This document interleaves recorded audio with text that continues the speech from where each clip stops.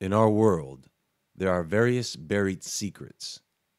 Think about all the secret activities that may occur underground the testing, the experimentation, the construction.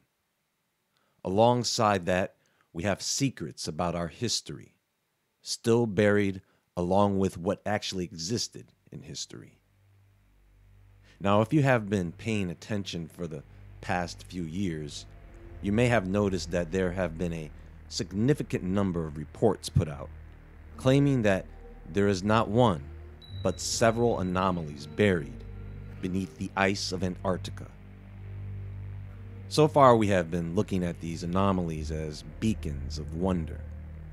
And when you think about it, over the years, there have been quite a few stories and many claims about what is there.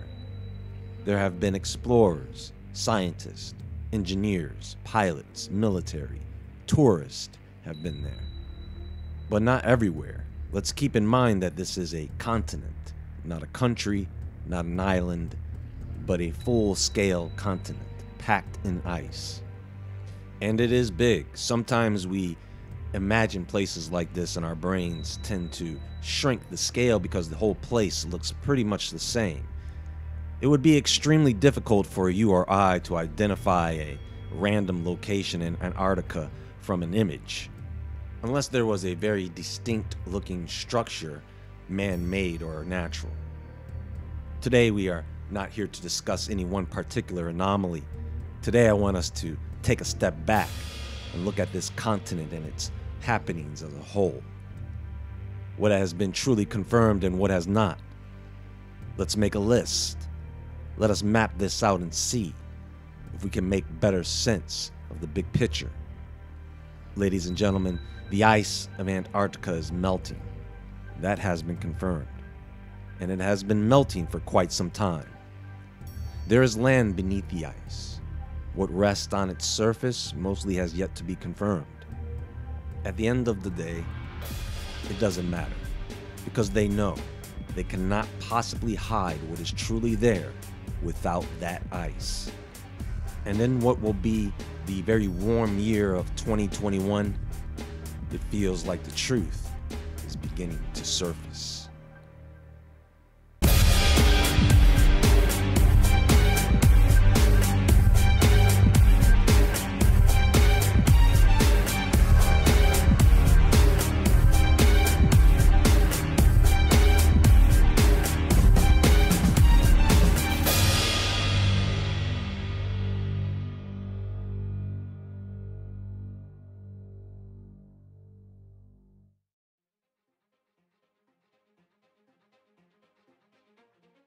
Antarctica is about five and a half million square miles. That is about the size of the United States and Mexico combined. About 97% of Antarctica is covered in a sheet of ice, close to 5.3 million square miles. On average, the thickness of the ice sheet is around 2,160 meters deep, or 1.3 miles. The thickest part of the ice is around 3 miles deep. 90% of all the ice on the planet is this ice sheet. 70% of all the world's fresh water is this ice sheet. Now, again, the average thickness of this ice sheet is 2,160 meters deep. With that said, the tallest building in the world right now is 828 meters tall. That means that if there were buildings on the surface of Antarctica that are that tall, those buildings would still be buried almost a mile deep below the surface of the ice. It is said that this ice is millions of years old. So, if there is any artificial structure beneath the ice, either that structure is that old or the ice is that young. Beneath the ice, Antarctica is divided between East and West Antarctica and the Antarctic Peninsula. West Antarctica is mostly below sea level. East Antarctica is mostly above sea level. the ice sheet actually bridges East and West Antarctica. So, with this layout, you can understand that you can't really explore Antarctica on foot. You can't really explore in a land vehicle. Even with a helicopter or plane, you are flying over ice that is anywhere from a mile to three miles deep. So, any artificial structure you see sticking out of the ice is either very massive or it may have been constructed or placed on the surface of the ice hundreds or even thousands of years ago. There are three major mountain ranges in Antarctica. On the Antarctic Peninsula Cordillera, in what's known as Graham and Palmer Land, there is the Antarctic Andes, which runs the full length of the peninsula. South of the Antarctic Andes is the Ellsworth Mountains, where there is the Sentinel Mountain Range with the highest peaks on the continent. To the east of these two mountain ranges is the Transantarctic Mountains, which divide East and West Antarctica. Now, because most of Antarctica is under ice, you have what are called subglacial lakes, which form by the pooling of liquid water beneath the ice and above the bedrock. There are at least 400 of these lakes. Lake Vostok is one of these lakes that is known to be under the Russian Vostok station at the southern pole of cold, which is one of the largest subglacial lakes in the world. There are several rivers, which are technically meltwater streams, the largest being the Onyx River, stretching 19 miles westward through Wright Valley and into Lake Vanda, between the Olympus and Asgard mountain ranges. There are 138 known volcanoes in Antarctica. Many are active, some dormant. Most of them are subglacial, but you still have glacial volcanism. Earthquakes are not that often, but when they do occur, they can be violent. Ice quakes occur much more often. Most of the stations that detect seismic activity are along the edge of the continent, all but four. There are 70 permanent research stations across the continent, with the presence of 32 countries. It was the Antarctic Treaty that set the law of the land, which ensures Antarctica stays in pristine condition for future generations to enjoy, or when the northern hemisphere is no longer habitable. So, what about these stations they have scattered across Antarctica? Well, this started with the Borchgrevink's hut in Cape Adare in 1889, and in 1902 with the Omond House. This house was put together by a Scottish expedition crew using materials found around Laurie Island, which today still stands as sort of a monument. Since 1902, several countries have visited Antarctica, but no real permanent stations were established then. Even Neuschwabenland.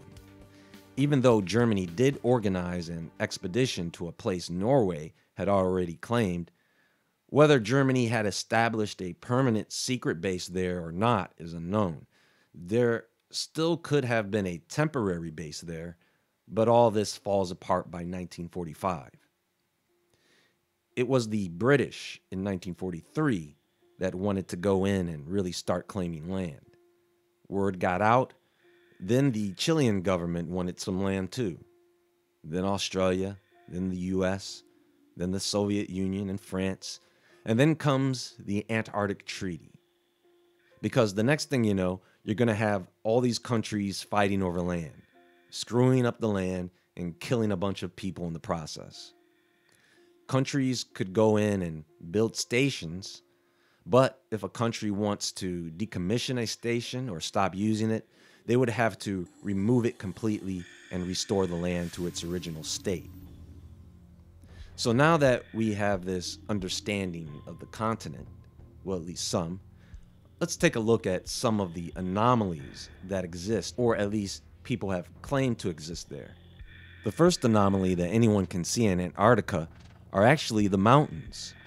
The fact that Antarctica has so many mountains under the ice and many peaking above the ice, if the ice sheet is millions of years old, as mainstream scientists claim, many of those mountains should have eroded away by ice erosion. But they haven't. Maybe I'm wrong. Vostok Station just happened to be built over Lake Vostok. It it was an accident, I promise it was. What on God's green earth gave them any indication that there was a large lake two miles beneath the station? Well, a Russian geographer looked at the site and said, You know, this is one big flat plain of ice in this area. I wonder if there is a lake underneath it all. Not only is there a lake there, there is a magnetic anomaly there as well that they can't explain because they know what it means if they try. Looks like the Russians picked the prime location to set up base, similar to the US McMurdo Station location, which is more like a small town than a station. Yet they wanted everyone to agree not to spoil the land. Anyway, what you have to understand here is that this environment is not hospitable to infectious diseases not just because of the weather. Obviously, if someone caught a cold and brought it onto the base, other people could catch the cold as well. But we are talking about an isolated location, free of these pathogens, ideally. In order to enter one of these bases, you have to be tested for these infections before you can go there. And then once you get there, you are quarantined for a few days before you can enter the population, according to policy. Oh, by the way, how do three dozen people get infected with COVID on the Chilean research station? You want to know where this place is? Look, this is where this place is. I want to laugh, but it is not really that funny. What in the world are they doing down there? Really? I know Chile is right there, but this is not hard. Anyway, the US McMurdo station. Look at this place. They made a city. You know how much terraforming you have to do to build this place? So we all know that treaty was just a bunch of words on paper, worthless at this point. Check this out. Does this look like they are holding down the treaty to you? Aren't they supposed to be doing research? I'm being facetious here, folks, but what else would you expect from human beings? I mean, you guys know that they had a nuclear power plant there at one time. For a while, actually. They decommissioned it before the 80s, so no problem, right? Although, although there are supposed to be no nuclear devices of any kind on the continent. Oops, I guess. So, folks, take all that Antarctica is this pristine, clean environment. We don't want to contaminate anything. You can take all that and chuck it out the window. They have had infections on the bases. People have died. People have died and gone missing all over this continent. Considering the number of people that go there each year, I don't consider those very good odds. Well, now it's down to around one fatality per year, Many of these are due to freak accidents and crashes. McMurdo Station and that area have had several incidences, several involving fatalities. It might as well be haunted at this point. Remember Operation High Jump? Whether a UFO battle occurred or not, Admiral Byrd did take a significantly large fleet with him just to explore the continent, mainly around that area of the Ross Ice Shelf. McMurdo Station is in that area. There are a few people who believe that this Ross ice shelf could be a passage for UFOs, perhaps the South Pole entrance into a hollow Earth. Since the South Pole itself is covered in ice and now a dome, because the Ross ice shelf is just ice floating on water with holes, cracks, and crevices that lead to somewhere. How many of you have heard of the Martian meteorite that was found in Antarctica? Do you think it was an accident? Do you think it being found was an accident? First of all, Do you know what it takes to get a rock from Mars over to Antarctica by accident? That rock has to be moving at least 11,000 miles an hour just to leave the planet. So, the story for all Martian rocks found on Earth is that an asteroid hit Mars and knocked off a bunch of debris into space, some of which ended up on the Earth and the Moon. And you know what? I'll give them that because the only other way to get Mars rocks here is to bring them here. So I'll give them that natural explanation due to the composition of the meteorites found. Although there has been much debate about the Martian meteorites found in Antarctica. The South Pole Amundsen Station is now a dome covering the South Pole. I think they want people to come up with conspiracy theories. Want to see the inside? Sure, you do. There are pyramid structures on the continent, much like the pyramid mountain structures we find in Australia or even California. There are maps that are centuries old that show Antarctica without ice. This ice being millions of years old is the one thing about this place that they absolutely will not dump. They really want to keep that idea alive for as long as they can because the ice is melting at an accelerating rate, and these things will start to surface. Some very old things. Remember when I said this ice makes up 70% of the planet's fresh water? What do you think is going to happen when this fresh water mixes with seawater over time? That is an earth changing event that affects the entire planet. Now, UFOs, or should I say spacecraft, sticking out of the ice are not hard to come by when researching this stuff. And I am sure there are people who want there to be some type of ship being uncovered by the melting ice. And I say, if there were such a thing, why would it be sitting out in the open just to be snowed on? They had advanced aircraft, but they didn't have hangars, not even a garage. And I know what some people are thinking. What if it was a crashed UFO, huh? Well, you got me there. All I know is that there are UFO sightings over New Jersey. There is no place in the world devoid of this phenomena. And even if there was a crashed UFO in the ice, it does not mean it is from Antarctica. What about the face found in Antarctica, like the one on Mars? Well, not really like the one on Mars at all. This is a different face. Looks like a buried Decepticon. After all, they are more than meets the eye. But this can be explained away with pareidolia, just like with everything else. They have explanations for a lot of it, which are really just theories, opinions. Google Earth, of course, people have put out several images of strange structures found on the continent that almost never look like anything natural, but we could never conclude that they are artificial. So we have to wait to see what the melting reveals. Aside from that, there have been dozens of strange creatures discovered beneath the ice and around the continent. Very primitive species of animals. And then there are, of course, legends of larger beings. When I think about the kraken stories off the coast of Antarctica or giant squids, and then you hear stories about Organism 46B that the Russians may have encountered. You have movies like The Thing and H.P. Lovecraft's Cthulhu creatures, which tops them all. Shoggoths. Why is it that these Lovecraft monsters are probably the most common monster in many, many monster movies? I do not believe that whatever is hidden under the ice will be completely exposed anytime soon However, I do believe that there will be enough melting to reveal several things that definitely confirm a civilization before the ice, making the age of the ice a straight up lie. That and maybe our origins. There is plenty more to come on Antarctica soon, so stay tuned.